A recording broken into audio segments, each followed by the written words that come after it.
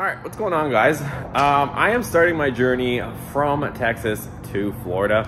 So behind me, I've got the Eco Diesel right here, and I've got my 24 foot enclosed car trailer. So I'm hooking it up. I figured I'd go quickly through the process of hooking this thing up in case you guys ever want to tow with your 1500. I'll show you what I've installed on this 1500 to be able to, you know, tow the safest in my opinion. I've pretty much put every option or thing that you could possibly put on for towing since I've been doing a lot of towing with this EcoDiesel. Um, so let me flip this around. I'll show you guys all the things that I've installed that make towing this pretty decent. So here we go. We got the EcoDiesel. And if you guys haven't seen this truck on the channel, we've spiced it up quite a bit. So it's a Laramie. Um, it has a 355 gear ratio. I know they came with different gear ratios. This one's got a 355. And we got a 24 foot enclosed Pace American trailer. So, um, if you guys are wondering what's in the box, right now all of my home belongings are in here. So, I'm doing the first run with just all home stuff. Um, it would be nice to take one of the vehicles, but it took forever to load this with all that stuff. So, I'm to do one run just with this stuff, and then we'll come back and start getting the vehicles. So, as far as hooking this thing up, I've got a CURT weight distribution hitch. Um, and then everything else, I don't, want to say it becomes optional, but it's just a good idea to have. So of course you got your hitch. This one has uh, the bars for the weight distribution. So it's a special hitch. Um, they're not exactly cheap. I managed to find this one used, like barely used. It was uh, brand new. The guy used it for like one trip. But um, keep your eye out on the local classifieds if you're looking for something like this. So what it does is you can see here, and then it's got all these shims in there. And it essentially, you have to calculate your truck and uh, you have to do a little bit of setup first before you can start towing. And what you do is you end up pitching this thing down. And what it does is the bars, and this is gonna all make sense in a second, the bars go into here, and what you're doing is you're taking that angle and you're pitching it. So essentially you're driving 90 degree bars into the ground, and then you end up hooking them up to here, and it's pulling up. So the best explanation that I've heard it explained is it's like taking the handles on a wheelbarrow and picking them up on the back of your trailer. So it's relieving the load at this pivot point. So here's the bars here. That's one right there. So you can see it's got the chain on the other side. And then this is how it looks installed. So you can see there it comes out and then it's got tension under it right there on the chain. So it's picking up on the back of the truck. So you can see there, this trailer is fully loaded right now and the jack post is off the ground. I haven't even added air to the bags yet and it's looking pretty decent. So as far as we like, you don't want the truck to be up in the back. A little bit of squat's okay, pretty much level. I haven't done anything like this is factory suspension on the truck. So you guys know that the trucks come with a little bit of rake and uh, that's how we're sitting. So right now, and then you're also gonna see these. Some guys will run just one.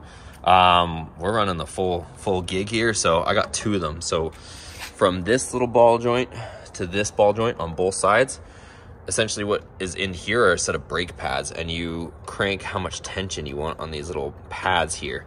And it's as you can see your sway control. So when you get the sway going it's like slowing down any of that sway action.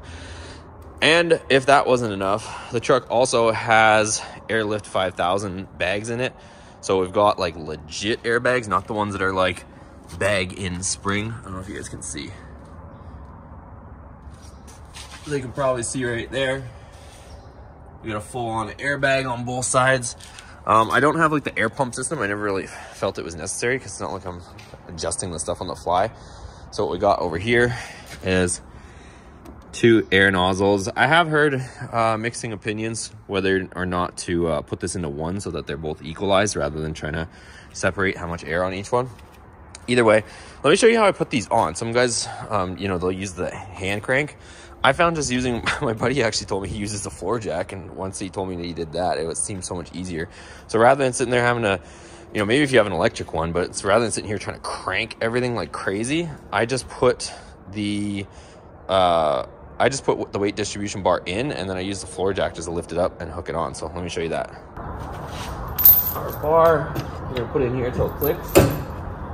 And then this goes up to here. if you guys do or don't know, you can only have a maximum of four uh, links exposed, four or maybe five, but that's the max. You don't want this thing bent over like a banana, and you don't want if you start like trying to hook it onto the low ones, then it could potentially get into the like the frame of your trailer. So that's those are the reasons for that, at least as far as I know.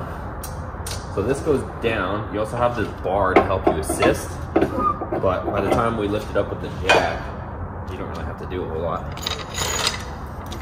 Of course, we've got our safety work boots on. OSHA approved work boots. And yeah, I just do like this, and you can see, you guys can pretty much see how it operates. So see how the trailer goes down? As soon as I start lifting up on this, you can see the trailer start to lift up.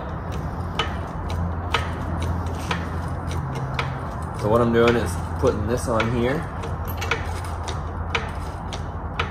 And then count my links, make sure it's equal to the other side. So one, two, three, four. I'm gonna hook it on this one. And then I'm gonna grab this. You can see how easy it was instead of trying to fight it like a maniac with without the floor jack. Put your cotter pin back in. And then we just let off on that. So if you guys noticed before the distance, there was probably half that distance below this, and obviously we didn't adjust it. So now I can actually, on this jack, I can take out the, the foot. And we're ready to rumble here pretty much. So let me put the anti-sway bars on, show you guys how that works. So these have cotter pins in the end.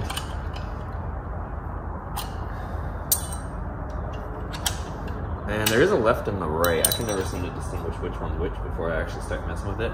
But you can find it pretty quickly. Obviously you can see the cups on that side. Spots on the other one. Probably should mark them so I don't keep doing that every time, but is a left and right to this. So here we go. Okay, so that is there. And then see how it like, but depending on which way the trailer was facing, it wasn't perfectly straight, You can't get it on, loosen it up, and then this slides. That goes on there. And then we just run our cotter pins up in here.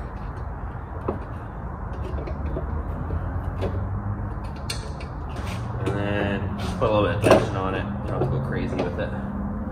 So we can adjust these once we get out on the road, but yeah, you just kind of, you don't want to like crank this as tight as you can, but kind of just want to put a little bit of tension on it, and then that's pretty much it. So let me put the other one on, and then uh, we'll wrap this up. All right, so next up on the list, kind of just pull it out and get on flat ground. You see we got a little bit more squat in the back, and I haven't put any uh, air in the airbags. So what I'm going to do is you're gonna need, well, you can do it two ways. You can go to the gas station if you want, but you see here, I just got a cheap little pump. Uh, it's actually my backup pump. My other one I don't have with me, but you're gonna notice like, even if you plug it into the back seat, you can't get to the back of the truck. So I'll link this down below. It's just an extension harness. So rather than trying to reinvent the wheel, it's just, uh, I believe a 20 foot extension. So just like a you know, cigarette lighter extension, and then you can make it all the way to the back here. So let's go ahead. I haven't even opened this yet. I just bought it, so I can open it. Let's use it. All right, so there we go. Now we can reach. The other reason why I thought that would be cool is if you ever needed to fill up your trailer tires, you're on the road, that you could actually probably make it all the way there. So um, anyways, now let's go ahead. I'm gonna put, um, I'm probably gonna try like 20 pounds and see where we're at. I'll start there. But just to give you guys a little bit of perspective, that's how we're sitting right now. It's not terrible, but I don't have any air in the airbags, so it'll be a little bit firmer ride if I at least put some in there. I think there might only be two and a half, maybe five pounds. I haven't checked in a while, but um, it'll make it a little bit more firm instead of so mushy in the rear as well. And that's how our trailer's sitting. So there we go. That's 20 pounds in there. Truck is pretty much dead level, I would say and trailer is looking pretty decent too. So kind of have to play with it as you go, but we'll try it out on 20 pounds. But um, that's gonna be a wrap for this video. If you guys found this helpful or informative, make sure you give it a thumbs up for me. I'll link the airbags, um, that extension, and the stuff that I used as well down in the description. You guys can check it out. But if you guys are interested in this stuff, uh, we post a lot more on this channel. So check it out. We'll see you guys on the next video.